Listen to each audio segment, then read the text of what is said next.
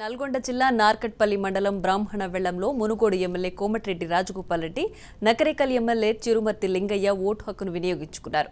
ఉదయం సముద్రం ఎత్తిపోతల ప్రాజెక్టును పూర్తి చేసి ప్రజలకు తాగునీటిని అందిస్తామని హామీ ఇచ్చారు.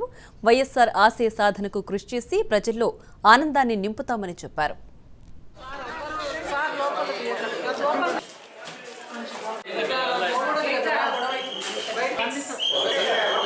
అందరూ బయటకు రండి సార్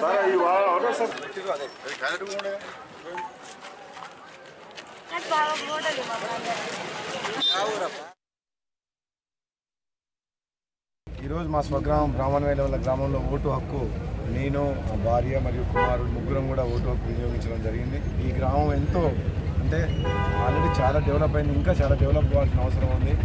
ఇక్కడ ప్రజలు కూడా గత కొన్ని సంవత్సరాలుగా నేను మా సోదరు వెంకటరెడ్డి గారు అందరం చేస్తున్న సేవలను దృష్టిలో పెట్టుకొని ఈసారి కూడా మా సర్పంచ్ అభ్యర్థులు గెలిపిస్తారని ఆశిస్తున్నాం. ఎందుకంటే ఈ గ్రామం అంటే ఒక ప్రత్యేకమైన ఉంది. ఎందుకంటే ఇప్పటికి ఒకప్పుడు మేము ముగ్గురం ఉండేవాళ్ళం. ఈసారి ఇద్దరం ఎమ్మెల్యేలను గెలిచిన ఈ గ్రామం నుంచి నగరికల్లు మునుగోడు నియోజకవర్గానికి. ఢిల్లీకి రాదైనా తల్లి కొడుకు మనం ఎక్కడ ఏ పొజిషన్లో ఉన్నా సరే మన సొంత గ్రామం పుట్టినిల్లు జన్మభూమి ఈ గ్రామాన్ని అభివృద్ధి చేసుకోవాల్సిన అవసరం ఇంకా చాలా ఉంది.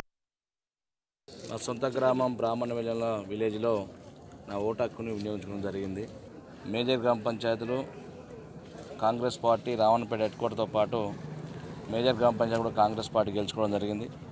టీఆర్ఎస్ పార్టీ నాయకులు లక్షల రూపాయలు పంపిణీ చేసిన గెలవలేక కొంతమంది క్యాండిడేట్లు పరారులో చూపించి కాంగ్రెస్ పార్టీ వాళ్ళని కూడా ఇబ్బందులు పెట్టే కార్యక్రమం చేసినా కూడా ఎక్కడ కూడా రాత్రి కూడా చాలా గ్రామాల్లో ఇళ్ళ మీద పెట్టి దాడులు చేసినా కూడా ఒక ప్రశాంతమైన వాతావరణం ఎన్నికలు జరిపి నెలకొల్పాలని చెప్పి మా కాంగ్రెస్ పార్టీ నాయకులు కానీ అటు పోలీస్ యంత్రాంగం కూడా చెప్పి సహకరించాలని చెప్పి చెప్పడం జరిగింది.